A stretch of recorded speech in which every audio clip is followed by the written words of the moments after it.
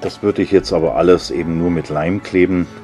Mit Heißkleber gäbe das ja, wahrscheinlich eine kleine Katastrophe bei so feinen Sachen.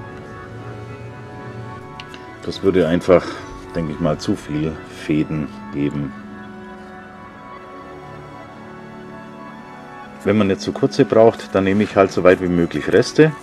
Ansonsten schneide ich mir die nicht unbedingt immer von einem Brett ab, sondern nehme da eben verschiedene, einfach damit man auch wieder verschiedene Stärken von Brettern hat und natürlich vor allem auch die vielleicht etwas verschiedene Farbgebung. Vielleicht kann ich hier jetzt eine Fensterscheibe einbauen, da einfach halt so eine Folie. Aber vielleicht könnte man das so machen, dass die schon das Glas gebrochen ist. Die Scheibe kann ich ja von hinten ankleben. Von daher kann ich das ein bisschen breiter machen und auch ein bisschen höher.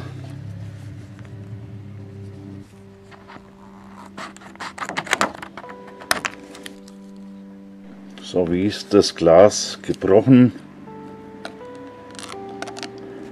Da schneide ich da ein bisschen kurvig das so aus, beziehungsweise nicht mal kurvig, sondern so zackig.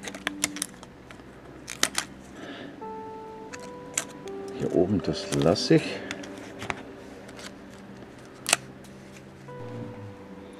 Ja, sieht ganz gut aus. Jetzt könnte man natürlich von den Restchen auch so ein bisschen die Glasscheibchen hier drauflegen. Dann setzen wir sozusagen mal das Fenster ein. Ja, probieren wir das doch mal mit diesen Glasscheiben. Hier vorne natürlich, wo es kaputt ist, das ist halt hier runtergefallen. Die kann ich mir hier auf dem Pinsel aufnehmen und dann hier hinlegen. Beziehungsweise auch vielleicht hier oder da mal ein bisschen hinstellen oder reinfallen lassen vielmehr. So, ja, gefällt mir gut. Das ist natürlich ein Detail, wo man erst bei Nahaufnahmen sehen wird oder wenn man eben beim Originalmodell ganz genau hinschaut. Aber genau das ist es ja. So muss es sein. Könnte man jetzt vielleicht hier auch mit roter Farbe ein bisschen Blut dran machen. Können wir ja eigentlich auch gleich machen.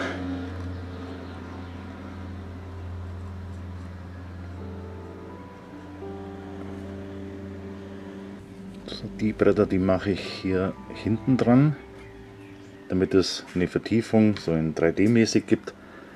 Nee, das war jetzt Schmann. In Wirklichkeit, ehrlich gesagt, habe ich das jetzt einfach nur verpasst. Ich hätte natürlich die Bretter hier durchziehen müssen da oben. Aber das stoßt mir jetzt zugleich hier an. Sieht mir ja die Bretter gar nicht mehr. Dann mache ich es andersrum.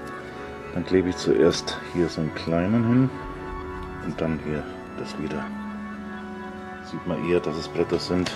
Das ist mir aber trotzdem noch zu wenig. Da hätte ich ja gleich eine ganze Platte dran machen können. Deswegen mache ich das jetzt so, dass ich hier einfach ganz leicht abkante hier. Dann sieht man das besser.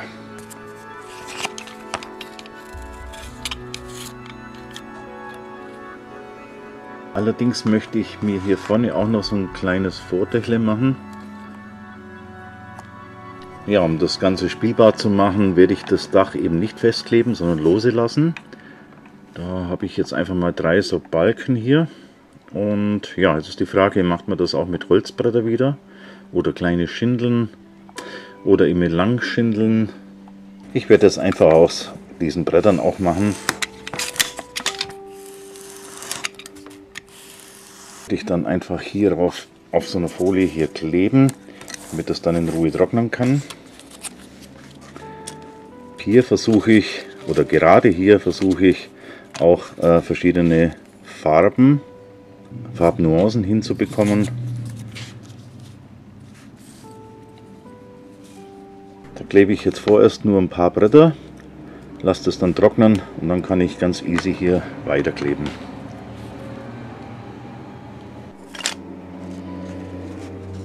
Hier unten möchte ich auf jeden Fall so ein Stück Holzboden, das heißt ich klebe mir aber jetzt hier so ein paar Balken drunter. Oder vielleicht eher hier, damit ich einfach ein bisschen Höhe bekomme. Fertige mir hierzu auch wieder Bretter an. Die kann man übrigens eigentlich auch brechen. Einfach so mit den Fingern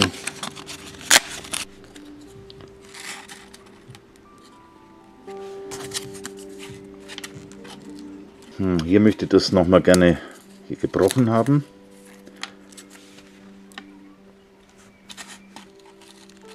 Einfach hier eingefallen schon. Auch hier hinten auch noch ein Balken, Querbalken zur Verstärkung. Ich denke mal, da mache ich, glaube ich, auch mit Brettern hier zu. Eigentlich kann man auch gleich mehrere Bretter mit dem Messer schneiden.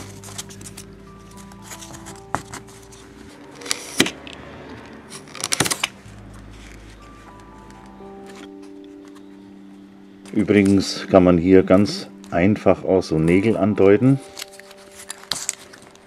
Zum Beispiel mit der Bleistiftspitze oder was auch immer hier ein bisschen eindrücken. Hier ist die Wand auf jeden Fall jetzt mal beschädigt zwischendurch. Schon so leicht nach innen oder nach außen, je nachdem, eingedrückt. Hier werde ich auf jeden Fall auch Holzbretter machen. Und hier vorne auch so eine Abschlussleiste. Ja, wenn man möchte, könnte man natürlich dieses kleine Dach ebenfalls abnehmbar lassen. So, und hier, diese werden wir auch an der Stelle etwas brechen. Da verdrehe ich das Holz vielleicht einfach ein bisschen. Ich denke, für mich werde ich hier das Dach einfach mal schon festkleben kann ja jeder selbst für sich dann entscheiden, ob man es abnehmbar lässt. Da mache ich es jetzt aber auch so, dass ich die doppelt drauf lege. Immer so versetzt eben. Könnte man hier auch wieder das so machen, dass das Dach irgendwo eingebrochen ist. Vielleicht können wir hier am Dach schon weiterbauen. Jawohl.